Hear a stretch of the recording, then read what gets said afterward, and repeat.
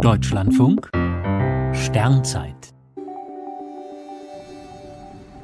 9. Februar Max Valier, Raketenpionier. Vor 125 Jahren kam in Bozen der Schriftsteller und Raketenpionier Max Valier zur Welt. Schon als Jugendlicher begeisterte er sich für das Weltall und studierte später Astronomie in Innsbruck.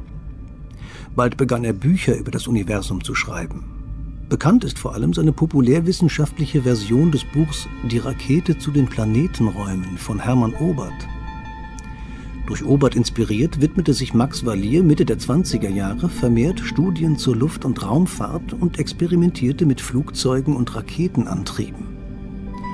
Einmal demonstrierte er auf dem Kalterer See, wie der Rückstoß einer Pulverrakete ein Boot vorwärts bewegt. Zwar sank das Boot kurz nach der Explosion, aber Max Valier war dennoch begeistert, dass es funktionierte. Mit einem Raketenschlitten erreichte der Abenteurer auf dem zugefrorenen Starnberger See eine Geschwindigkeit von rund 400 Kilometern pro Stunde. Max Valier erkannte schließlich, dass sich Schießpulver und andere Feststoffe kaum für den Antrieb von Weltraumraketen eignen.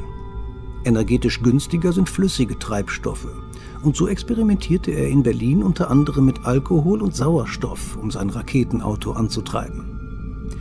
Im Mai 1930 explodierte bei Versuchen mit neuartigen Treibstoffen die Brennkammer des Triebwerks. Max Valier wurde von einem Splitter so unglücklich getroffen, dass er verblutete. Der Südtiroler Raketenvisionär wurde nur 35 Jahre alt. Er gilt als erstes Todesopfer der Raumfahrt. Thank you.